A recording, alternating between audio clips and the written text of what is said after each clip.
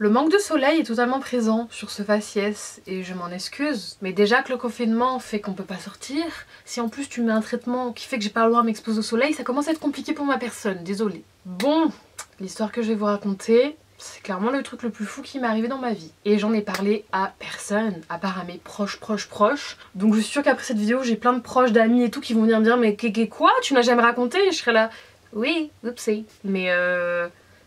C'est une histoire de fou et j'ai rien inventé.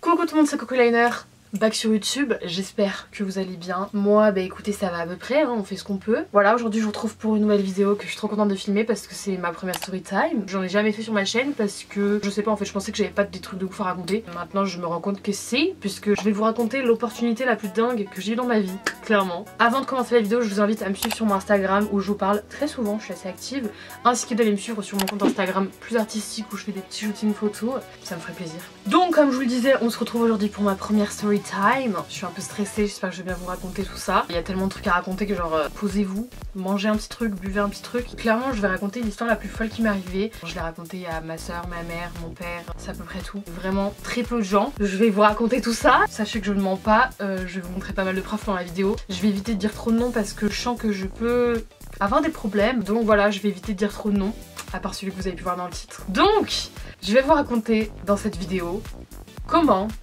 on m'a contacté pour jouer dans le film d'Andrew Manoff. En fait, j'arrive même pas à me souvenir que ça m'est arrivé cette histoire de fou, et c'était il y a pile un an.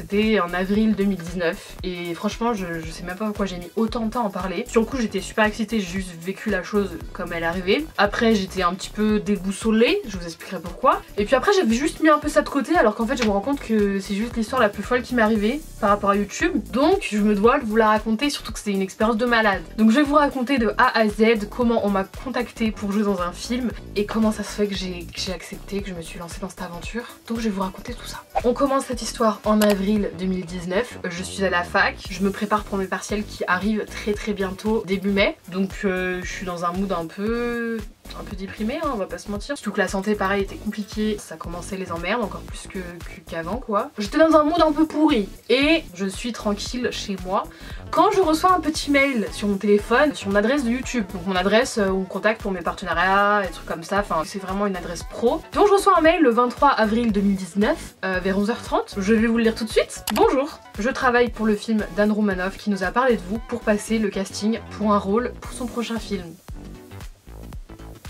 Pouvez-vous me contacter au 06 pour que nous puissions en parler? Merci euh, Quoi? Donc, je reçois ça et je me dis mais what the fuck? Alors le premier feeling que j'ai eu, hein, je vais pas vous mentir, je me suis dit c'est du bullshit, c'est faux.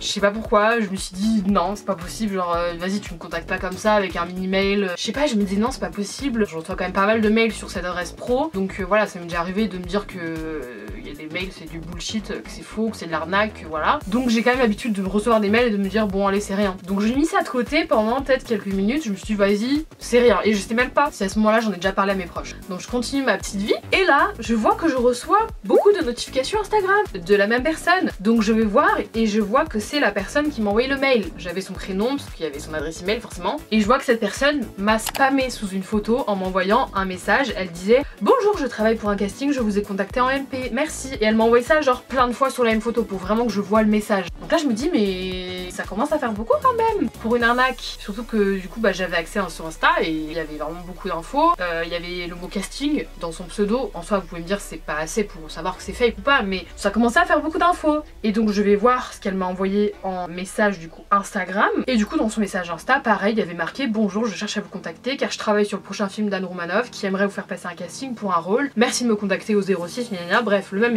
Donc là je commence à me dire Ok, il y, a un bail, il y a quelque chose de bizarre dans cette histoire. Donc je me dis Qu'est-ce qui m'arrive? What the fuck? Est-ce qu'on m'a vraiment repéré sur ma chaîne YouTube pour jouer dans un film? Donc du coup premier réflexe que j'ai avant même je crois d'avoir prévenu mes proches, je vais taper sur internet film Anne Roumanoff et je me rends compte qu'effectivement Anne Roumanoff était à ce moment là en train de préparer son premier film. Et qu'elle cherchait du coup des acteurs. Donc là je me dis c'est vraiment pas du bullshit, en tout cas elle est vraiment en train de faire son premier film. Mais comme je suis une personne extrêmement stressée et que j'aime pas m'aventurer dans des trucs euh, un peu bizarres, il y a toujours des arnaques, c'est un truc assez sombre quand même des fois. Donc je me dis je suis sûre de rien encore tu vois. Genre pour moi c'était vraiment bon ça pouvait être totalement du fake. Donc j'en parle à ma soeur, à ma mère. Donc déjà ma soeur saute de joie me dit mais c'est une blague mais imagine c'est vrai tout et tout. Donc elle était surexcitée parce que ma soeur vraiment s'est emballée extrêmement vite. Moi je suis ce type de caractère qui genre je préfère me dire que c'est faux. Comme ça s'il s'avère que c'est vrai je serais plus contente. Alors que si je suis là surexcitée qu'en fait c'est faux bah je vais être au bout de ma vie. Voilà j'ai ce mood là du coup moi j'étais là genre tu sais j'étais sur la réserve de ouf. Ma soeur pas du tout c'est le contraire elle explose elle était là mais c'est trop bien et tout. Genre direct elle m'a grave encouragée et tout. Moi j'étais là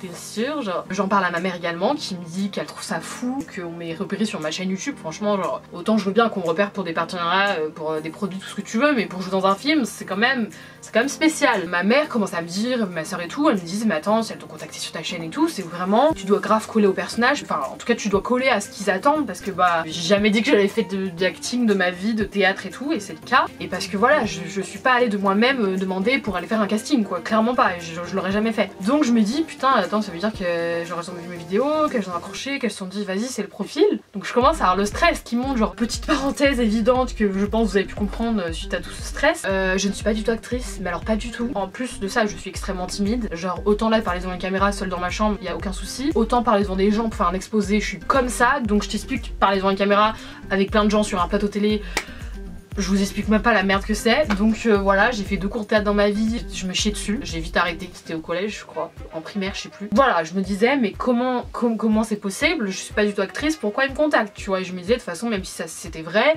je vais jamais y arriver, je ne suis pas actrice. Moi si vous le savez pas, un de mes plus grands rêves c'est de travailler dans le cinéma. Bon, manque de peau c'est pour faire réalisatrice et pas actrice parce que justement bah, je suis très timide et moi ce qui me plaît c'est plutôt de créer et pas spécialement de jouer même si forcément je trouve que c'est quand même de l'art euh, de jouer euh, dans, dans des films. Je me suis dit putain quand même Jeanne c'est une opportunité de fou parce que t'as quand même l'opportunité d'aller sur un tournage de film. Moi c'est vraiment ça qui me tentait, c'est pas tant d'être devant la caméra parce que ça me gêne, mais c'est d'aller sur un tournage de film quoi, de voir tout comment ça se passe, le réel, les scénarios, tout ça, tout ça, genre c'est fou, c'est un rêve éveillé quoi. Moi c'est mon plus grand rêve d'aller sur un tournage de film. Donc voilà, j'en parle à ma mère, j'en parle à ma soeur et tout, elles me disent mais meuf faut que t'appelles le numéro, genre imagine c'est vrai, genre tu réponds oui, tu peux pas dire non, genre tu faut que tu te lances, faut que t'en saches plus en tout cas sur ce qu'il te propose, quel rôle il veut que tu joues, où est-ce que le film il sera tourné. Donc moi je me chie dessus, je suis là mais what the fuck. En plus je vous rappelle juste que dans les une ou deux semaines à venir j'avais mes partiels, donc j'étais quand même un peu en train de speeder pour, euh, pour les cours, parce que moi je suis genre à réviser à la dernière minute, je commence à me dire ok c'est Jeanne faut que je le fasse, c'est une fois dans ta vie que ça arrive ce genre de truc, faut, essayer quoi. Donc je me dis essaye d'appeler ce numéro. Et déjà sachez que rien que ça c'est déjà une épreuve pour moi, parce que voilà faut pas juger, hein, chacun ses peurs. Mais moi c'est vrai que parler au téléphone à des inconnus j'ai vraiment peur, j'aime pas du tout ça. Quand on m'appelle juste pour un colis, je suis là. Euh, quand c'est un numéro masqué, je réponds pas. Enfin, vraiment, j'aime pas trop les appels téléphoniques. Mais bon, on était du coup le 23 avril. J'avais 18 ans depuis bah, deux semaines. Donc je me dis, Jeanne, t'as 18 ans, t'es quand même capable d'appeler un numéro. Donc j'appelle le fameux numéro. Bon, je vous avoue que j'ai pas tous les détails parce que c'était quand même il y a un an. Mais en gros, j'appelle et je tombe du coup sur une assistante de casting qui était cette dame qui m'avait contacté. Parce que vous, doutez bien que c'est pas Adam Manoff en personne qui m'appelle hein, pour euh, que je joue dans son film. Et donc j'ai cette assistante très gentille au téléphone qui me dit, voilà, bonjour Jeanne, on vous a repéré sur votre chaîne YouTube. On aimerait vraiment que vous veniez euh, passer un casting euh, pour le prochain film d'Anne Romanoff. Je réalisais pas ce qu'on me disait. En fait, ce que j'ai trouvé vraiment gentil et qui m'a vraiment genre donné envie, c'est que vraiment, bah déjà la personne était adorable au téléphone, mais surtout vraiment, j'ai senti qu'ils avaient vraiment envie que je vienne. Ma façon dont je parlais, je pense sur mes vidéos, leur avait vraiment plu. Je me dis quand même, faut pas qu'ils aient de faux espoirs. Je lui explique que je suis absolument pas actrice, que j'avais pris vraiment de cours de théâtre, que voilà, je suis quand même très timide, mais en lui disant que je vais quand même essayer de faire mon possible, évidemment, parce qu'on est là pour ça. Elle me dit très gentiment qu'il n'y a pas de souci, que de toute façon voilà, on va faire au feeling, qu'elle me dit qu'il faut que j'essaye de me détendre, que j'y aille tranquille, cool, et que j'essaye de, de rester moi-même. Moi je suis là, je me chie dessus, ok. Elle me dit que le tournage en plus de ça, il se fait à Lyon, la ville où j'habite. Mais je me dis merde, j'ai mes partiels, mais à ce moment-là, c'était même pas le truc principal. Genre je me disais putain meuf, c'est fou, tu te rends pas compte, tu vas aller passer un casting peut-être. Donc voilà, elle m'explique que euh, c'est en plus un grand rôle quand même, c'est pas de la figuration. Je vais pas en dire trop parce que forcément j'ai pas trop le droit. C'était le rôle de la fille euh, d'Anne Romanoff dans le film. Donc c'était quand même un rôle important et j'allais jouer euh, beaucoup de scènes, voire toutes les scènes avec Anne Romanoff. Surtout que moi je la connais Anne Romanoff, enfin je veux dire je la situe très bien, je vois comment elle est. J'étais pas en mode grosse fan mais je la connaissais donc en plus de ça de se dire que tu connais le réel, c'est quand même ouf. Donc voilà, je tenais pas en place, je lui ai dit bon bah voilà, lui ai dit mon âge, je venais d'avoir 18 ans, ça c'était nickel, donc il y avait pas trop de soucis de, mineurs, de machin et tout. Je pouvais éventuellement me déplacer à Paris, voilà, bon bah je pouvais arriver à prendre un train. Elle m'a juste dit ok bah passe-moi ton mail, donc ton mail personnel, du coup je voulais passer le mien, et elle m'a dit qu'elle allait m'envoyer les documents, euh, voilà, dans les minutes qui suivaient, dans les heures qui suivaient, pour ce futur casting. Évidemment, vous en faites pas, premier truc qu'on a fait après l'appel, vu que j'avais eu les noms euh, de la directrice de casting, j'avais le nom de son assistante, j'avais Anne Romanoff, j'ai fait les recherches et avec ma mère on a vérifié que c'était entre guillemets safe, même si on peut jamais être sûr quand même. Du coup le mood c'était extrêmement stressé parce que je suis pas une meuf qui a de ouf confiance en elle donc je stressais de fou. Et j'avais ma soeur derrière qui me disait vas-y meuf c'est bon tu as tout défoncé, allez quoi, vas-y, faut essayer. Mais à ce moment-là moi j'étais grave en mode Jeanne pas de faux d'espoir. Il y a sûrement plein d'autres gens qui vont passer ce casting, te mets pas dans la tête que tu vas y arriver parce que sinon genre tu vas être tellement déçu quand ça va être non. Donc du coup je me dis vas-y fais-toi pas de faux espoirs, pars du principe que c'est pour rigoler, que tu vas t'éclater, que ça va être sympa, que tu vas voir un peu les dessous d'un casting et tout. Du coup quelques minutes ou quelques heures après je me rappelle plus, je reçois ce fameux mail sur ma boîte perso du coup cette fois-ci. Et donc là tout se confirme, dans le mail il y a énormément d'informations, je vais vous le lire, je sais pas si je pourrais vous le mettre sur l'écran parce qu'il va falloir que je floute tellement de choses. Mais en gros ce mail disait Bonjour j'espère que vous allez bien.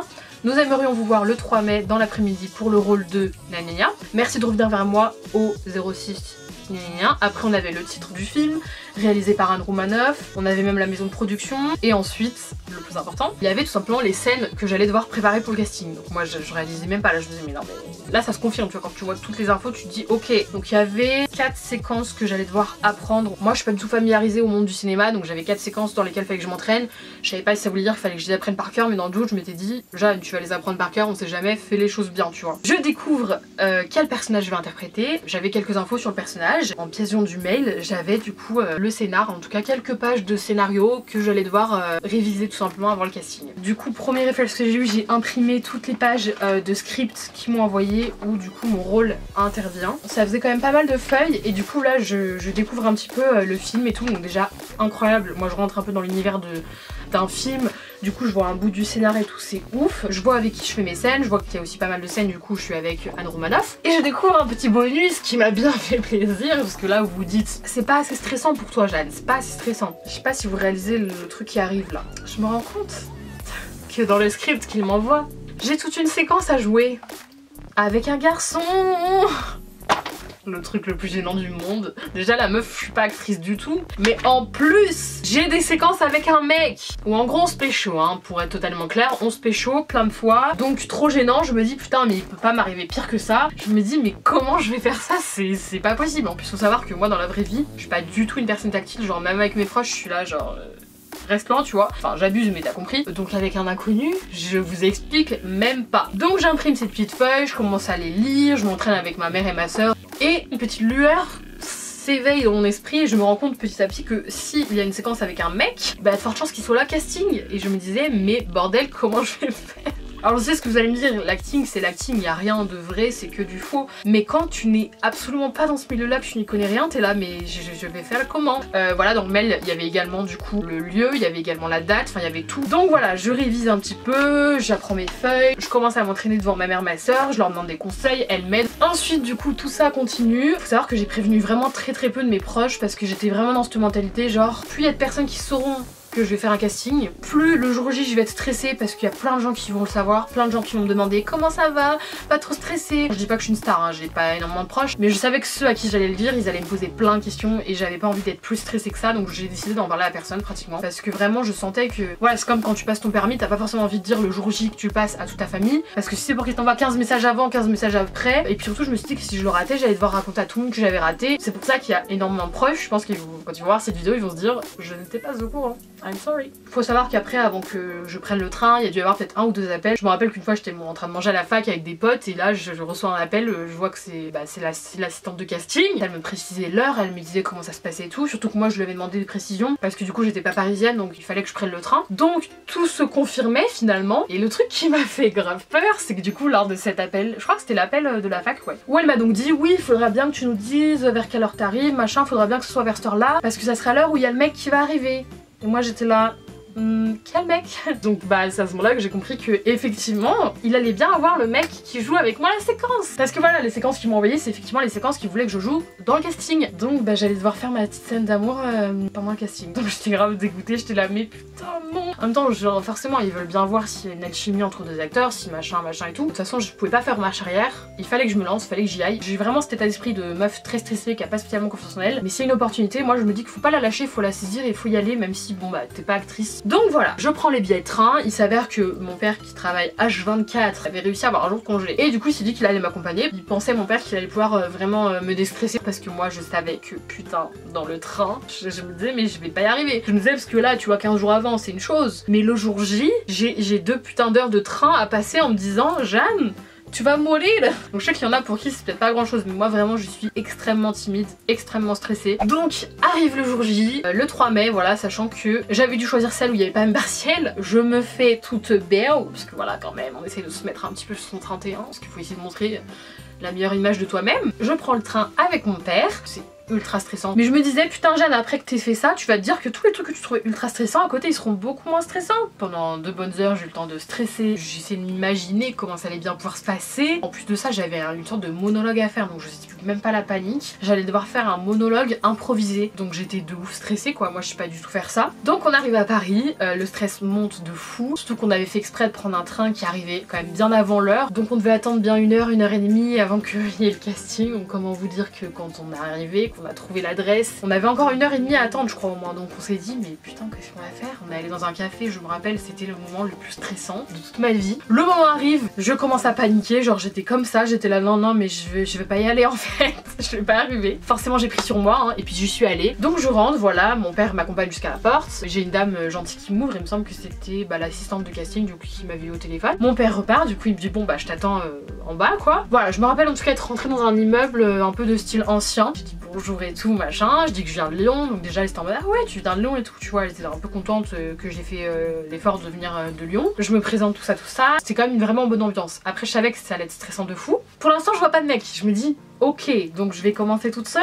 Et il me semble qu'elles m'ont prévenu, elles m'ont dit bon tu vas commencer toute seule et puis après il y a euh, gna gna qui viendra. Je sais même plus qui c'était. Et ce qu'il faut savoir c'est que même lui, il passait en fait son casting et je l'ai appris après. Parce qu'en fait lui, il avait un bien plus petit rôle que moi dans le sens où lui les seules fois où on le voyait c'était avec moi. C'est pour ça qu'en fait quand moi j'ai passé mon casting, à l'intérieur de mon casting, le mec passait son casting, il venait, il se présentait, il faisait la scène avec moi et il allait repartir. En fait c'était moi qui avais le casting le plus long parce que moi j'avais des scènes euh, plus importantes que lui. En fait il faisait des couples d'une meuf et d'un mec mais il connaissait ni l'un ni l'autre. Ils essayaient de faire des couples euh, à peu près du même âge, je pense, et qui devaient peut-être potentiellement aller bien ensemble, mais des couples de gens qui venaient passer leur casting du coup en même temps pour cette fameuse séquence où on allait être ensemble. Euh, je dis comment je suis et tout, je voyais les meufs très sympas, donc il y avait l'assistante de casting et la directrice de casting. Quand je vois qu'en fait c'est pas une caméra avec qui quoi ils vont me filmer, c'est un téléphone. Il y avait un trépied, mais c'était avec un, iPhone que j'allais filmer. Un chouïa moins stressant, mais quand même. Et donc là, je me rappelle, il me semble que j'ai dû faire une première vidéo. Je devais me présenter, donc je m'étais présentée en caméra et tout, voilà, j'avais expliqué quel âge j'avais, machin machin. Je leur avais reprécisé, il me semble que j'étais pas du tout actrice Hein, pour bien qu'il n'y ait pas de faux espoirs, tu vois. Je me disais, Jeanne, prends sur toi, prends sur toi. J'essaie vraiment de me dire, vas-y, c'est un moment cool, sois détendue. Après, du coup, euh, j'ai joué quelques scènes avec l'assistante de casting et même la directrice de casting, parce que j'avais des scènes avec euh, Anne Romanoff ou avec un autre personnage. Du coup, voilà, je fais mes scènes, voilà, voilà. Moi, j'essaie de jouer, j'étais là, putain, j'espère que ça va et que c'est pas trop nul. Le truc que j'ai trouvé cool, c'est qu'elles étaient vraiment sympas, elles étaient assez encourageantes. Je me suis sentie quand même vraiment accueillie, c'était vraiment une belle ambiance. Essayé de faire la meuf assez détendue. Je me rappelle qu'elles m'ont demandé un petit peu de faire un petit monologue, j'ai essayé de le faire, je me suis débrouillée, j'avais préparé un peu ce que j'allais dire hein, dans le contexte. J'ai quand même trouvé qu'ils avaient quand même pris pas mal de temps, ça avait pas duré une minute euh, le casting, parce que moi je savais pas du tout, hein, j'en ai jamais fait. On a quand même refait plusieurs fois les scènes, et puis bah là le moment fatidique arrive, forcément. Elles me disent bon bah le mec est là, je sais même plus comment il s'appelle. Donc là saut gênant, je suis là, je m'assois, j'étais là ok. Le mec arrive, voilà, je découvre un mec qui était grand. Moi à ce moment-là j'avais 18 ans, je pense qu'il avait au moins 20 ans. Il était 10 fois plus grand que moi d'ailleurs, il faisait vraiment genre 2 mètres de haut, moi j'étais là salut Et du coup voilà je le vois arriver, euh, vraiment bien confiance en lui et tout, genre lui tu sentais qu'il avait l'habitude de faire ça et puis t'avais moi qui était là, je ne sais pas ce que je fous là. Euh, il se présente, euh, lui il s'avérait qu'il était acteur, voilà c'était son agent qui lui avait trouvé ce casting. Lui le mec c'était son job, il faisait ça parce qu'il voulait se trouver des castings. Puis moi j'étais là, j'étais en mode bah on a repéré sur ma chaîne YouTube. Très gênant parce qu'on a à peine le temps de se parler, il faut direct commencer la scène donc je fais la scène avec un mec que je connais pas. C'était le moment le plus malaisant de ma vie et pourtant tu sais que le mec franchement il était pas moche à regarder du tout, hein. j'ai vraiment de la chance. Et euh, le bon côté qui, qui je pensais être un mauvais côté, c'est qu'en fait le mec était très fort. Donc en fait le mec a commencé à jouer et je me suis rendu compte qu'il était méga fort, qu'il avait un vrai flow quand il jouait. Et le bon côté c'est qu'au début je me suis dit merde, le mec il est méga fort, à côté je vais passer pour une grosse tâche. Mais le bon côté là-dedans, je crois qui m'a moi en fait rassuré, c'est que vu que le mec il gérait de ouf, et bah je me suis un peu laissé embarquer dans l'élan de voilà t'as confiance en toi, t'y vas. Et ce que j'ai trouvé cool c'est que du coup je pense que ça m'a plus aidé qu'autre chose en fait. Il entreprenait beaucoup parce que bah forcément il y avait des côtés un peu tactiles. Heureusement c'était pas embrassé vraiment sur la bouche parce que la directrice de casting a compris que ça pouvait être gênant. Mais elle a dit voilà vous faites tout comme quoi. Moi je, suis très gênée avec les gens que je connais pas donc euh, voilà. Je pense que si j'avais été avec quelqu'un d'autant stressé que moi, voire plus stressé de moi, j'aurais jamais réussi à sortir quelque chose parce qu'on aurait tous les deux été comme ça, genre euh, horrible. Donc le bon côté c'est que lui vu comme il était à l'aise, il m'a mis un peu à l'aise. On a vraiment fait quelque chose de pas si mal. Le truc qui m'a fait dire que ça s'était pas si mal passé euh, ce casting, c'est qu'il y a eu quelques petits signes par-ci par-là, beaucoup de sourires, beaucoup d'encouragement. Le fait qu'on ait refait cette putain de scène 15 000 fois avec le mec. Et je me disais putain ça veut peut-être dire qu'il y a un truc sûrement plus avec lui qu'avec moi. Mais en tout cas il voulait qu'on fasse la scène, il nous donnait des petites instructions, il nous disait ah faites plus comme ça pour voir et tout. Donc je me disais bon c'est sûrement lui qui est très bien. Mais c'est vrai que j'ai eu quelques signes que quand même je me débrouillais pas trop mal. Plusieurs fois, j'ai dit, vous voulez que je change quelque chose et tout. Elle m'avait dit, non, ça va, refais comme pareil et tout. Je me disais, bon, soit c'est que l'espoir est perdu et qu'elles savent que je suis une grosse merde, soit c'est que je me débrouille pas trop mal. Après, donc, il a fait sa petite interview comme moi où il se présentait et tout. Et donc, j'ai appris qu'il était acteur et tout. Je me suis dit, ok, c'est pour ça qu'il était aussi à l'aise. Et puis, bah, après, bah, je crois qu'il est parti du coup, même avant moi. Puis après, du coup, j'ai parlé un peu aux dames et tout. C'est vrai que ce qui m'a semblé très cool, c'est que même après le casting, sûrement t'as quand même une petite idée, même si en soi, après, je sais que la Réal, donc Anne Romanoff, elle a dû voir tous ces petits rushs très gênants. Je pense que t'as quand même une idée de si c'est bien passé ou pas. Et c'est vrai que directrices de casting et tout, l'assistante, elle était vraiment très sympa avec moi, très souriante. Elles m'ont même dit que s'il devait y avoir un callback, donc un callback en gros c'est genre quand t'as fait ton premier casting, ils te rappellent parce qu'ils veulent te garder.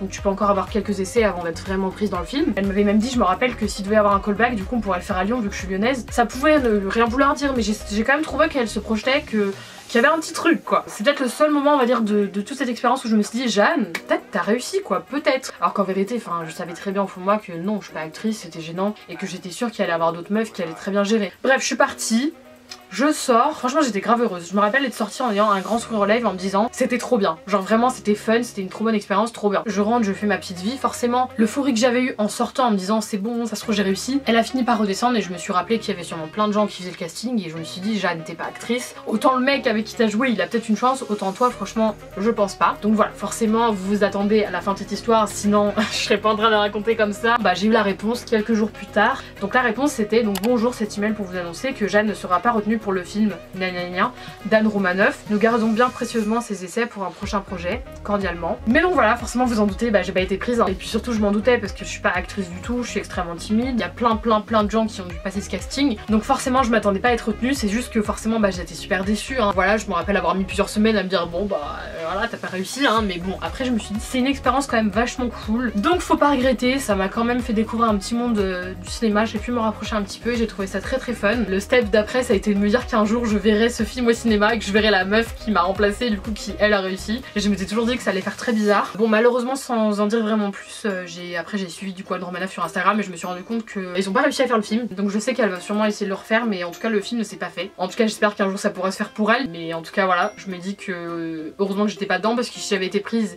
et que le film avait pas pu se faire pour d'autres raisons j'aurais vraiment été au bout de ma vie. En tout cas j'ai trouvé que c'était très bonne expérience et j'étais vraiment choquée de me rendre compte que YouTube ça peut t'apporter ce genre d'opportunité là euh, auquel je m'attendais pas du tout mais j'étais contente de me dire que dans ma vie bah, j'aurais fait un casting, que je l'ai fait et que bah, j'ai surpassé ma peur. En tout cas voilà, j'espère vraiment que cette vidéo vous a plu, que cette story time sûrement très longue vous a plu, mais il y avait tellement de détails que je voulais pas que vous en loupiez. En tout cas voilà, si vous voulez d'autres story time, de trucs qui me seraient arrivés, bon ce sera peut-être pas aussi fou, mais des trucs quand même assez dingues. Donc voilà, j'espère vraiment que cette vidéo vous a plu. Si c'est le cas, n'hésitez pas à mettre un petit like, à la commenter et à vous abonner à ma chaîne, ça me ferait très plaisir. Je vous fais plein de bisous et je vous dis à très bientôt pour une prochaine vidéo.